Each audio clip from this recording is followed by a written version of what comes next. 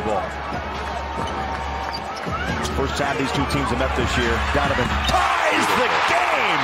104. Big time players make big time plays and shots. None bigger right now than that one, that three point shot. He was there, so was O'Neale. Royce down the lane, kicking out. Donovan. Yes! Five to shoot. Mitchell accelerates and finishes. Help win the rebound back. It's Mitchell who finishes to give Utah the lead. That is correct. You get the switch because Swanigan gets forced to off the screen by Gobert. We talk often about the screen. It's helped the Jazz. He's 0 for 7 from downtown.